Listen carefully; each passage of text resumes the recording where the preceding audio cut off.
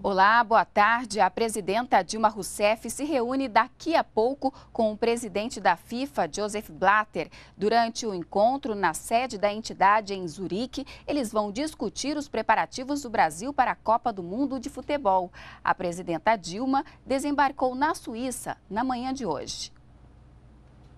A comitiva brasileira chegou à Suíça em pleno inverno europeu, onde a temperatura hoje deve variar de 0 a 6 graus. Zurique, a maior cidade da Suíça, fica no coração da Europa. Está entre as cidades mais poderosas do mundo, onde estão as sedes de bancos, instituições financeiras, organizações e entidades internacionais.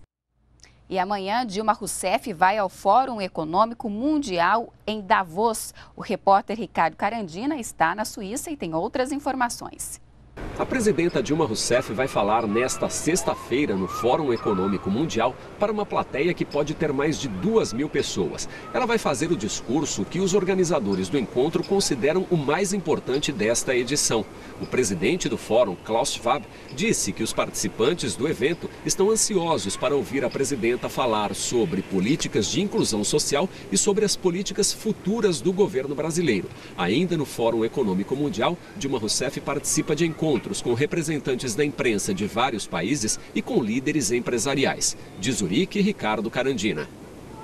E nós podemos voltar a qualquer momento com outras informações sobre a viagem da presidenta Dilma Rousseff à Suíça. Continue com a gente aqui na NBR, a TV do Governo Federal.